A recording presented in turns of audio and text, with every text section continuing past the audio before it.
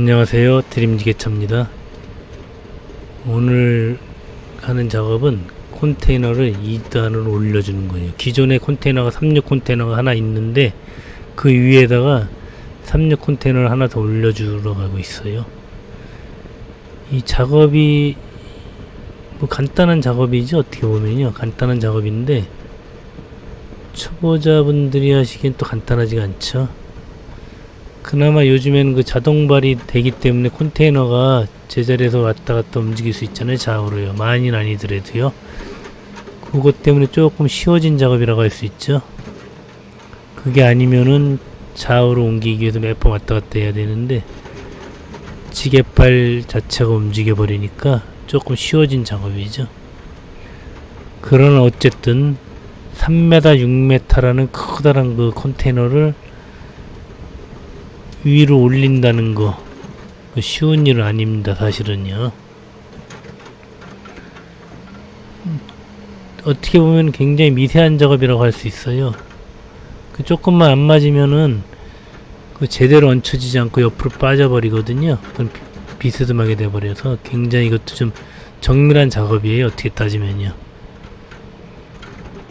지게차 사무실에서 가까운 곳이에요 이곳은 주로 이제 하우스로 된 그 창고들이 몰려 있는 곳인데 이제 이곳은 제가 여러 번 동영상에 등장했던 그 창고죠. 뭐 찾아보면 여러분 여러 번 여기 이제 등장했던 곳이에요. 지난번에 그 고소 작업 때 하차 작업한 곳도 바로 이곳이거든요. 가깝고 지금 여기 이제 땅이 굉장히 좋아졌어요. 예전에 초창기에는 이곳이 그 잡석이 깔려 있어갖고 지게차 작업하다 보면은 잘못하면 빠지는 수가 많았거든요. 근데 지금은 땅이 굉장히 좋아졌어요. 지게차 작업하기 아주 좋아졌습니다. 웬만해서는 빠지진 않아요. 비가 많이 와도 땅이 막 질거나 그러지 않죠. 이 정도 상태는요. 이제 작업하기 많이 좋아졌습니다. 지금 오른쪽에 있는 곳은 자유로예요. 제일 자유로 바로 옆에 붙은 곳이죠.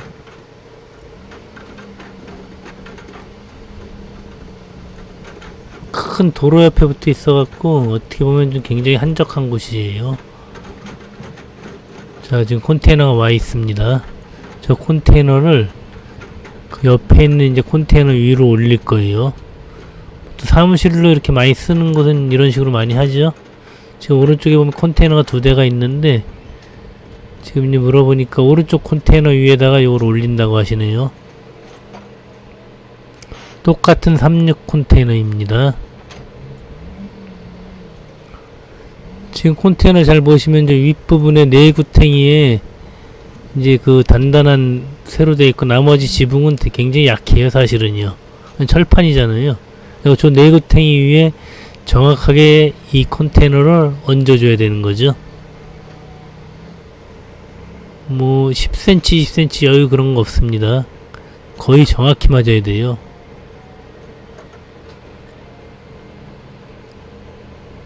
이제 여기서 잠깐 이제 지게차를 대놓고 컨테이너를 이제 풀고 계시죠? 우리 화물차 사장님께서.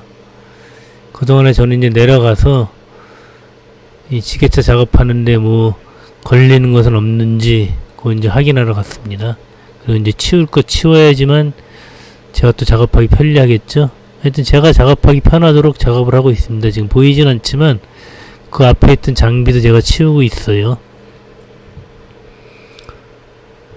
지금 전혀 안 보이고 있죠? 지금 다 저는 작업을 하고 있습니다. 그리고 이제 만약에 컨테이너를 2단으로 올려놓고 층에 있는 컨테이너를 사무실로 쓰기 위해서는 사다리를 또 설치해야 되겠죠. 근데 여기는 이제 그렇게 할지 안 할지 모르겠는데 임시로 올려놓는 건지 그건 잘 모르겠어요. 어쨌거나 임시로 올려놓더라도 아무렇게나 올려놓을 수는 없어요. 정확하게 이 내구탱이를 정확히 맞춰서 얹어놔야 됩니다.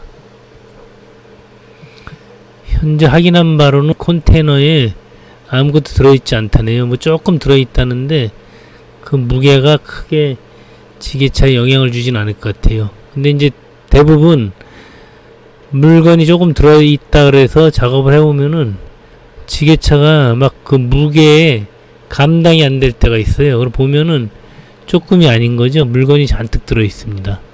그리고 보시다시피 지게차가 힘 받는 곳은 이 지게발 있는 곳 구멍에 힘을 받잖아요. 그 위에 이제 무게 나가는 물건이 얹혀져 있으면은 그래도 괜찮은데 좌우로 퍼져 있으면은 그 무게감이 상당하거든요. 그래서 조심해야 돼요. 지금 제가 장비를 치우고 있죠. 요거 뭐 지루하시면은 스킵하세요. 좀 뒤로 넘겨버리시면은 어느 순간 끝나버립니다. 작업하는 건 순간이에요. 자 이제 거의 다 쳤고 위에 전선줄 같은 거뭐 걸리는 거 없나 요거 확인하고 있습니다. 그리고 이제 제가 컨테이너를 들고 어떻게 빠져줘야지 화물차가 어디로 이동해야 될 거라는 거 이런 거 이제 동선도 확인하고 있습니다. 서로 간에 이것도 맞아야 돼요. 제가 컨테이너를 들고 뒤로 빠져줄 것인지 들고만 있을 것인지 이런 것도 우리 그 화물차 하시는 분하고 서로 사인이 맞아야 돼요. 그래야지 좀 더 안전하고 간편하게 작업을 할 수 있죠. 자 이제 모든 작업은 끝났습니다. 제가 이제 컨테이너를 들도록 하겠습니다. 제가 컨테이너를 들게 되면 아마도 저 화물차가 빠져나가고 제가 이제 컨테이너를 저 위로 얹어주면 될 것 같아요. 자, 수평 잘 맞춰서 들어갑니다.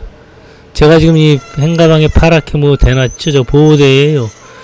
이 컨테이너에 예전에 이렇게 하다 보니까 그 찌그러지더라고요. 그래갖고서 이제 그 요걸 보호대를 댄 후로는 찌그러지거나 상처나는 일이 거의 없습니다. 저 두께가 그래도 꽤 두께가 있어갖고 저까지만 들어가면은 많이 찌그러지거나 상처가 나지가 않죠. 일단 저는 이제 컨테이너를 뜨고 후진을 하고 있어요. 제가 이제 최대한 후진을 해서 화물차를 빼도록 하겠습니다.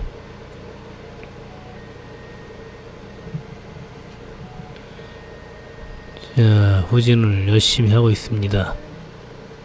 뭐 아무것도 보이는 거 없죠? 자, 이제 화물차가 빠져나간 것 같아요.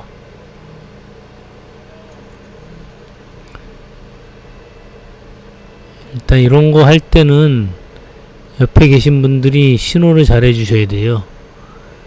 혼자서 이 전체를 다 보기는 굉장히 힘들거든요. 안 보이죠? 양쪽 옆에도 안 보이고 뒤쪽도 안 보이고 위에도 안 보이고 장애물이 잘 안 보입니다. 지게차에 앉아서는 이만큼도 안 보이고 있어요. 지게차 앉아서 볼 때는 그냥 깜깜이죠. 그냥 컨테이너밖에 안 보이죠. 그래서 이럴 때는 보호 조자가 꼭 있어야 돼요. 컨테이너 작업할 때는. 자 이제 들어보겠습니다. 이제 거의 앞에까지 전진했죠. 최대한 낮춰서 갈 수 있는 데까지 가는 게 좋아요. 뭐 높이 들수록 좋을 건 하나도 없습니다. 물건이라는 거는. 근데 바닥이 사실은 이 컨테이너가 아주 단단하지가 않아요. 좀 많이 썩어 있죠. 바닥 들어보니까요. 하판 같은 게 지금 다 너덜너덜합니다. 이거 똑바로 이제 수직을 맞춰서 들어가는 거예요. 요거는 이제 혼자서 맞추기 힘들면은 옆에 보조자한테 신호를 해달라 그러세요. 물론 지게발이 좌우로 움직이긴 하지만 그걸 가장 최소화 시켜야 돼요. 뭐 1cm에서 뭐 5cm 요 사이로만 움직일 수 있도록 정확히 맞춰서 들어가는 게 좋습니다.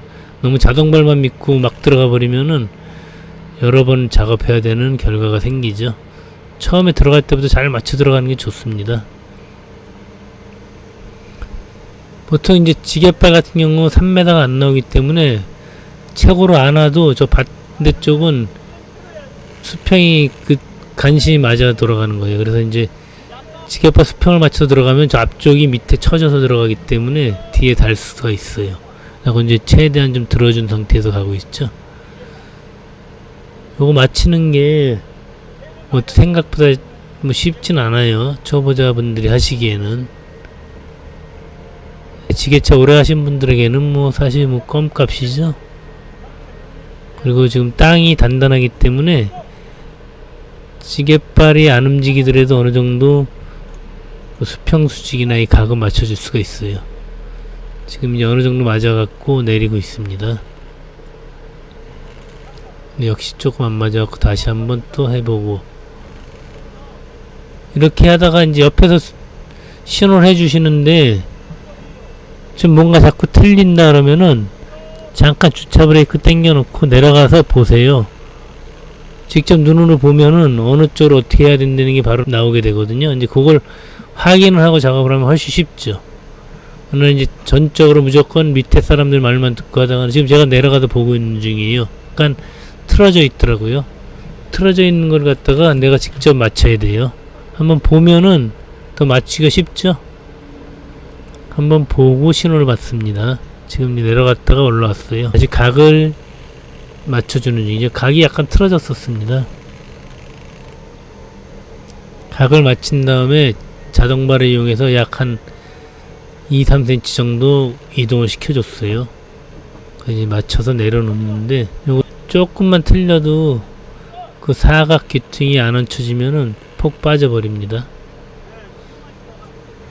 그래서 지금 다시 한번 하고 있죠. 의외로 쉬우면서 이제 까다로우면서 정밀한 작업이죠, 여기에요. 거대한 컨테이너 갖고 하는 정밀한 작업이기 때문에 쉬우면서도 조금 난이도가 있는 거죠. 자, 이제 하차를 했습니다. 조금 안 맞았어요. 다시 또 들고 약간 1cm 움직여요, 1cm요. 1cm 움직여서 그 위에다 얹혀놓고 있습니다. 이게 조금만 껐덕해도 이 컨테이너가 많이 움직이기 때문에 그게 이제 좀 어려운 거죠. 이제 뺄 때도 잘 빼야 돼요. 지게발이 컨테이너에 닿아서 땡기게 되면은 잘못하면 컨테이너가 움직일 수가 있죠. 그러면은 이껏 맞춰놓은 게 도로함이 타불이 되는 거죠.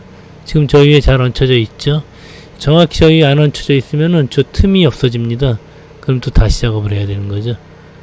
자, 이제 잘 된 거예요. 아주 잘 됐습니다.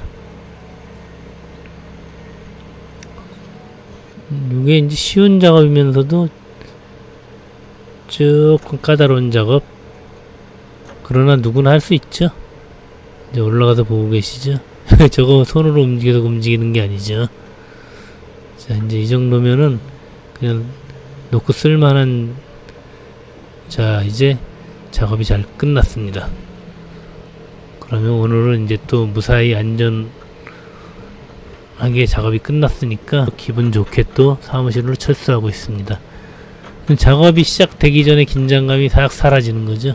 이때가 제일 기분이 좋을 때입니다. 무사히 작업이 끝났을 때요. 그 작업이 쉬운 일이거나 어려운 일이거나 무사히 끝나야지만 기분이 좋은 거죠. 자, 오늘도 안전 운전들 하세요. 감사합니다.